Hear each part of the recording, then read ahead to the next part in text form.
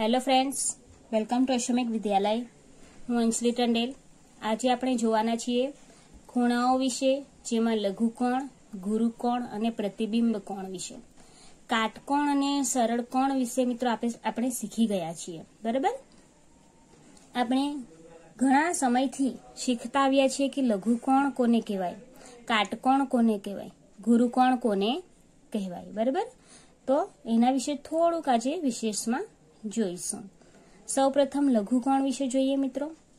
નેવું અંશ કરતા નાના માપના જે પણ ખૂણા હોય એને લઘુકોણ કહેવામાં આવે છે? ધારો કે ધારો કે આપણે લઈએ પિસ્તાળીસ અંશ, નેવું કરતા નાના છે લઘુકોણ ત્યારબાદ લઈએ જો તમે એક અંશનો બી ખૂણો બનાવો તો એ પણ લઘુકોણ થાય. અથવા તો નેવું કરતા એક જ ઓછા નેવ્યાસી અંશનો ખૂણો હોય તો પણ એ લઘુકોણ જ કહેવાય છે. ખ્યાલ આવ્યો? ચાલો. નેવું અંશના ખૂણા હોય તો એને કયા ખૂણા કહીશું આપણે? કાટખૂણા બરાબર? એટલે નેવું અંશનો જે પણ ખૂણો હોય એને કહેવામાં આવે છે કાટકોણ. એને કાટકોણથી જેટલા પણ, એટલે નેવું અંશથી જે પણ નાના હોય એને આપણે કહીશું લઘુકોણ. ત્યારબાદ આવે છે ગુરુકોણ. ગુરુકોણ કોને કહીશું? તો નેવું અંશથી મોટા અને એકસો એસી અંશથી નાના માપના ખૂણાને ગુરુકોણ કહે છે. એટલે કે તમે કોઈ પણ માપ લો કે જે નેવુંથી મોટું હોય. બરાબર? અને એકસો એંસીથી નાનું હોવું જોઈએ પાછું. એકસો એંસીથી મોટું ના હોવું જોઈએ. નેવું અને એકસો એંસીની વચ્ચેના જેટલા પણ માપ હોય એ બધા ગુરુકોણ કહેવાય? એમ આપણે શું શીખી ગયેલા હતા કે નેવું નેવું અંશથી મોટા માપના ખૂણાને ગુરુકોણ કહે છે? હવે આપણે જોઈશું કે નેવું નેવુંથી મોટા પણ એકસો એંસી અંશથી નાના માપના જે પણ ખૂણા હોય એને ગુરુકોણ કહેવાય? કારણ કે એકસો એંસીથી મોટા માપના જ્યારે ખૂણા હોય તો એનું પાછું અલગ નામ આવશે એટલા માટે. તો નેવુંથી મોટા આપણે ધારો કે એકાણું અંશનો બી ખૂણો લઈએ તો એ પણ એક ગુરુકોણ કહેવાય. બરાબર? ત્યારબાદ એકસો પાંચ અંશ, ત્યારબાદ આપણે લઈએ એકસો સિત્તેર અંશ, એકસો પંચોતેર અંશ. એ બધા ગુરુકોણ થાય કારણ કે એ બધા એકસો એંસી અંશ કરતા નાના છે અને નેવુંથી મોટા છે એટલા માટે. હમ? ચાલો. ત્યારબાદ છે પ્રતિબિંબ કોણ? પ્રતિબિંબ કોણ એટલે શું? તો એકસો એસી અંશથી મોટા. બરાબર? ક્યાં સુધીના? તો છેલ્લે આખું એક પરિભ્રમણ કેટલા અંશનું હોય છે? ત્રણસો ને સાહીઠ અંશનું. તો એકસો એસી અંશથી મોટા. બરાબર? એટલે કે એકસો એસી અંશથી મોટા અને ત્રણસો સાહીઠ છેલ્લા હોય તો ત્રણસો સાહીઠથી વચ્ચેના. એટલે એકસો એસી અને ત્રણસો સાહીઠ અંશ વચ્ચેના જે પણ ખૂણા હોય એને આપણે હવે કહીશું પ્રતિબિંબ કોણ? આ આપણા માટે થોડું નવું નામ છે, બરાબર? હવે તમે જુઓ તો એકસો એંસીથી હવે જો આપણને ખબર પડી ગઈ કે એકસો એંસીથી નાના કેમ હોવા જોઈએ તે ગુરુકોણ કેમ કે જો એકસો એંસીથી વધી જાય તો એને આપણે હવે કહીશું, પ્રતિબિંબ કોણ? ખ્યાલ આવ્યો? એમાં તમે લઈ શકો કે એકસો નેવું અંશ, બસો પચાસ અંશ, બસો ચાળીસ અંશ, બરાબર? ત્રણસો અંશ. એ બધા હોય, એ બધા કહીશું પ્રતિબિંબ કોણ? ચાલો, આગળ વધીએ. અહીં જો જોઈશું મિત્રો કે લઘુકોણ છે, બરાબર? તો એ લઘુકોણમાં લઘુકોણ કોને કહેવાય? બીજી રીતે જોઈએ તો કાટખૂણાથી નાના માપ. કેમ? કારણ કે આપણે કીધું કે નેવું અંશથી નાના હોય એ બધા લઘુકોણ થાય, નેવુંથી નાના. નેવું એટલે કોણ? કાટખૂણો. તો કાટખૂણાથી જે પણ નાના માપના ખૂણા હોય એને આપણે કહીશું લઘુકોણ અહીં તમારે ઉદાહરણ લખી દેવાના, પિસ્તાળીસ અંશ, પચાસ અંશ, નેવ્યાસી અંશ સાહીઠ અંશ, ત્રીસ અંશ, એ બધા નેવું અંશથી નાના માપ છે. બરાબર? ચાલો. ત્યારબાદ ગુરુકોણ વિશે જોઈએ. ગુરુકોણ તો કાટખૂણાથી મોટા. કેમ? કારણ કે નેવુંથી મોટા અને એકસો એંસીથી નાના. નેવુંથી મોટા. નેવું એટલે કોણ? કાટખૂણા. તો કાટખૂણાથી મોટા અને સરળ કોણથી નાના. કેમ સરળ કોણથી નાના? સરળ કોણ એટલે કેટલા? એકસો એંસી અંશ. એટલે શું કહીશું? તો કાટખૂણાથી મોટા અને સરળ કોણથી નાના ખૂણાને શું કહીશું? ગુરુકોણ ખ્યાલ આવી ગયો હવે? એમાં આપણે ઉદાહરણ લખી દેવાના તમારે કે સો, એકસો પાંચ અંશ, ત્યારબાદ એકસો વીસ અંશ, એ તમામ. ચાલો. પ્રતિબિંબી કોણ વિશે જોઈએ? પ્રતિબિંબ કોણ? તો એ સરળ કોણથી મોટા. એકસો એંસીથી મોટા એવું કીધું ને?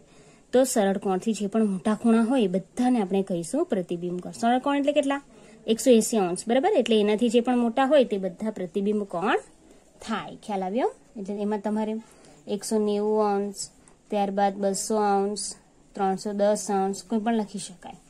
ત્રણસો સાહીઠની અંદર, કારણ કે એક સંપૂર્ણ આટાનો માપ હોય છે ત્રણસો ને સાહીઠ અંશ. કેમ ત્રણસો ને સાહીઠ અંશ હોય છે મિત્રો? જુઓ.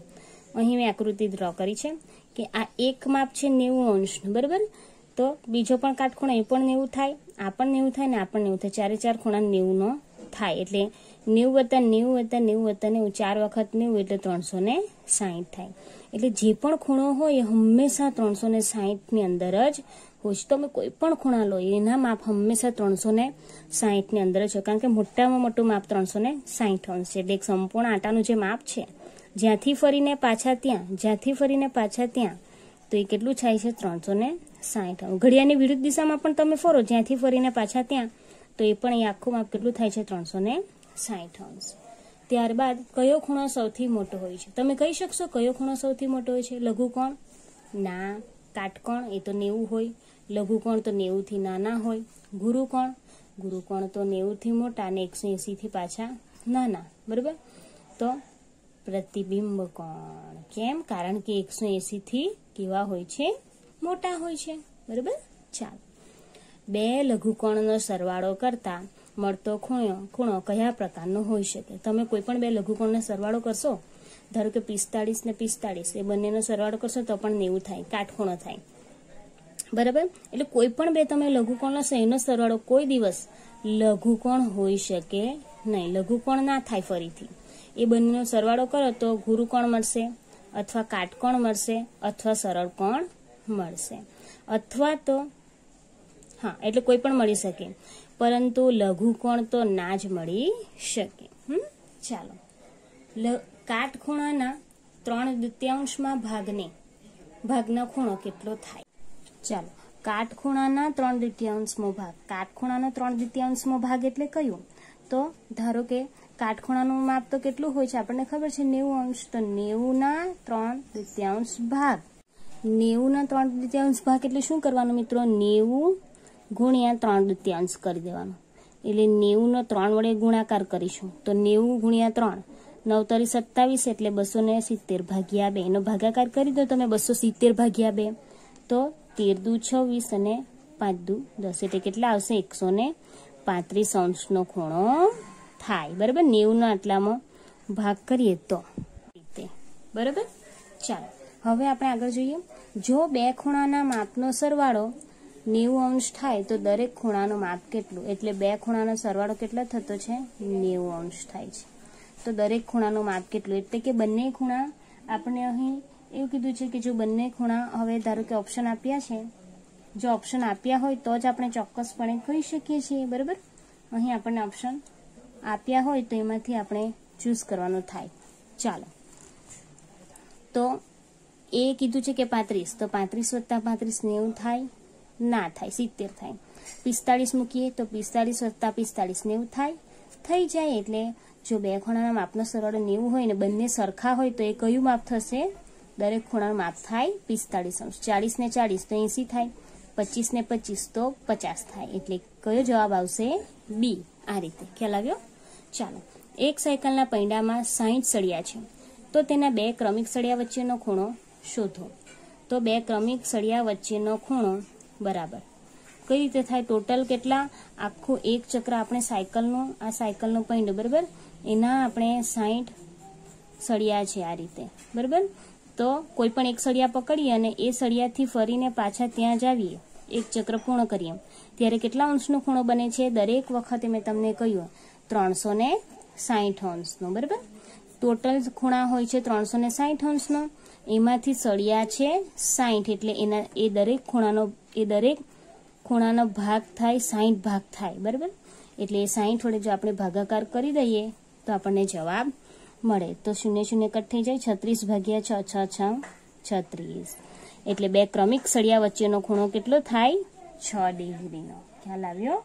આ રીતે આપણે શોધી શકીએ. ચાલો, આજે આટલું જ. નેક્સ્ટ લેક્ચરમાં ફરીથી મળીશું. Thank you have a nice day